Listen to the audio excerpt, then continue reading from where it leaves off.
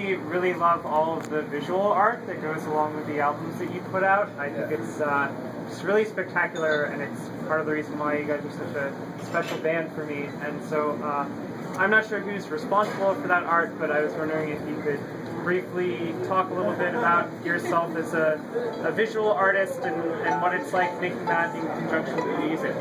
I'd be happy to talk to you about that after the show. Sure, I love that. Thanks. Does anyone else have a question? Why, why would you play in such a center of corruption and depravity? You mean the black cat? Does anyone else have a question? Why do you keep changing your name? Why what? Why do you keep changing your name every album? We don't change it every album. We No, change every it. other album. We change the band name anytime someone leaves or joins the band, out of respect for whoever left or joined. okay. Okay. it's- it seems like a minor pain in the ass to people, but it's important to us. Anyone else a question? Yeah, you with the hand up. What's that? No, I'm sorry, no. Ask the question. What's Silver Mount Zion? Uh, what's so Mount Zion? It's uh, uh, like a really cool water park just outside of Montreal. What's the deal on salmon here? That's a good fucking question. If you know the answer, I'd pay you fifty dollars. I mean, I guess no, I do know the answer. It's just really fucking long, and it has a lot to do with like uh, capitalism. Anyone else? have a question? What happened to your dog? What happened to my dog? She died. Anyone else have a question? Anyone else? Yeah. Yeah. What recent movies have inspired you?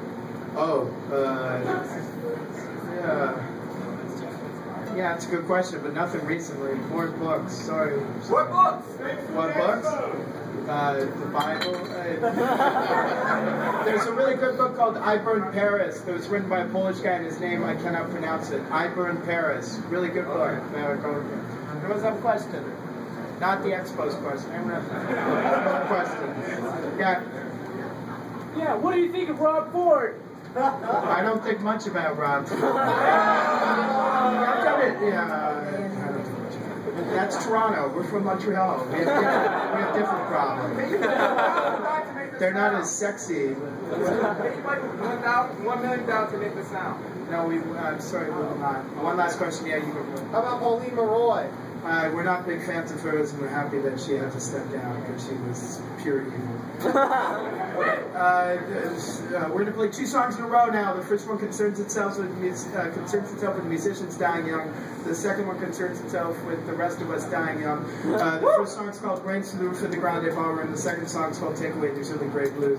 We hope you enjoy them both. Thank you very much.